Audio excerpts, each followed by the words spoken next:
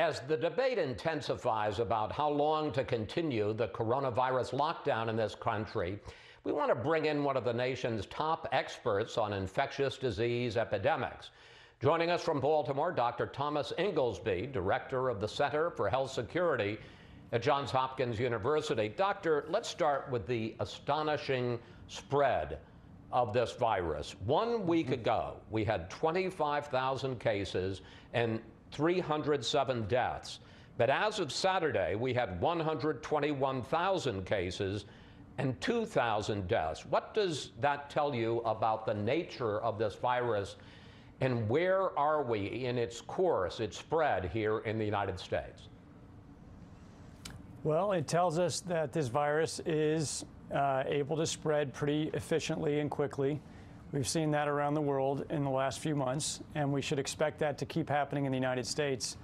I think, unfortunately, we are still at the very beginning of this outbreak, and we should expect that to continue for some time and really focus on social distancing as one of our main interventions in trying to slow it.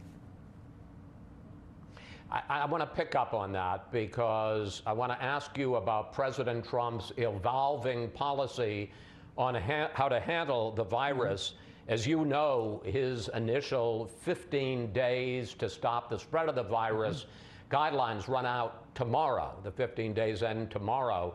Uh, and he is now mm-hmm. talking about the possibility in certain, what he calls low risk parts of the country, where there's a low incidence of the virus, reopening those areas by Easter. Here he is this week. There are large sections of our country probably can go back much sooner than other sections.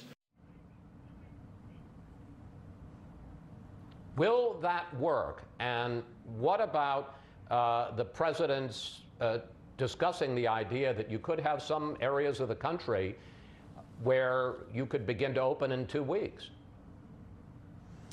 Yeah, at this point, we're seeing numbers go up around the country pretty consistently. There isn't really any place in the country where we've seen numbers go down, and we wouldn't expect to have had enough time for social distancing to change the numbers. So I don't think we have had nearly enough time for these measures to take to take full effect. I do think in the future it's possible that parts of the country, once they get control of this virus, that maybe states or regions could begin to relax social distancing measures a little sooner than other parts of the country. But as long as the numbers continue to go up as they are around the country, I think we really need to hold steady with the social distancing until we have a number of different conditions in place. But uh, I want to put up a map because if you look uh, at the situation, there are broad parts of the country uh, you can see in the mm-hmm. Northeast, in the New York general area, some cities, big cities in the Midwest and on the West Coast, where there are serious hotspots. And then there are broad areas where there are very few cases. So, so why can't we, as the president is suggesting, treat different parts of the country where the virus is at a very different state, treat those different parts of the country differently? Well, I think the first reason is that I don't really have confidence. I don't think many in public health have confidence that we really know where all the cases are. We've begun to do much more diagnostic testing around the country, especially in places where there is a lot of illness. But in some parts of the country, we don't have enough coverage of diagnostic testing. We're seeing what we see, but there could be twice as many, three times as many, four times as many cases in a particular area of the country that aren't yet recognized. So we need to get to a point in the country where we have such extensive diagnostic testing that we can test people who have mild symptoms. Right now, many, in many places in the country, if you have mild symptoms, you can't get a test. But those people can spread the disease just as well as the people who are sick in the hospital. So we need to get to a point where we have. Oh, go ahead. No, I, I, didn't mean to interrupt, but the president talks about in these certain areas of the country that people could actually go back to work, go back to offices as long as they practice the, the guidelines for these last 15 days. In the office, social distancing. In the office, good hygiene, uh, washing your hands a lot. Take a look what, at what the president said. We can socially distance ourselves and go to work, and you'll have to work a little bit harder. You can clean your hands five times more than you used to. Dr. Inglesby, will that work? Uh, I don't think so. I think if we, we've seen in Italy, uh, for example, which is a number of weeks ahead of the United States in terms of its epidemic, that even with very serious, very aggressive social distancing measures where people have been kept at home, schools have been closed, everyone is, is recommended not to leave their homes, that this disease has continued to spread and is causing national crisis. So at this point, I think what we need to do is really stick with what other countries that have had more success have done, which is they've largely been in Asia, Singapore, Hong Kong, South Korea, China, Taiwan. They have put in place social distancing measures until they've gotten control of the epidemic convincingly, and at that point begun to try experiments with loosening it. And I do think we will get to that point. Obviously, we need to, as, as a country, get to a point where people can go back to work. But if we go back to work too quickly, this epidemic is going to spread widely and aggressively, and we won't have a normal economy in that case anyway.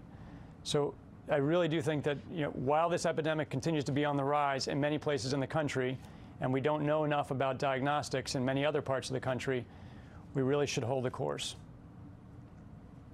So, if Easter, as the president has suggested, is too soon mm-hmm. to begin to loosen the reins in the quote low risk areas, when would you say, this is the kind of question reporters ask, mm-hmm. and I'm sure epidemiologists like you hate. Two questions. One, what is the earliest that you think that we could begin to loosen the reins in some of the less affected areas? And then the question I'm sure you're getting over and over how long is this going to last before we really go back to normal?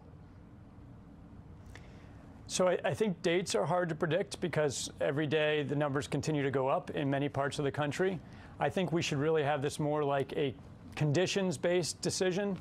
So when we see a state or a region have numbers that go down over time, and when we have diagnostics in place, and when we have masks available for all of our doctors and nurses who are putting their lives at risk to take care of take care of sick patients, and hospitals are well prepared, and when we can get our public health systems in place to start tracing or identifying individuals and tracing their contacts, again, like they do in Asia, I think those five major conditions, then I think it's a time to begin to think about how we might experiment with lightening social distancing, perhaps one step at a time. It's not clear to me when that's going to happen. I think we'll have to see where we are in two more weeks. In other, in other countries where they've put social distancing measures in place aggressively, it's taken about four weeks for those measures to begin to have an effect. But at that point, I think we could begin to look for the conditions that might make it safe to begin to lower our social distancing, but not until then. Dr. Inglesby, thank you. Thanks for providing Thanks your for, expert analysis, and please come back, sir.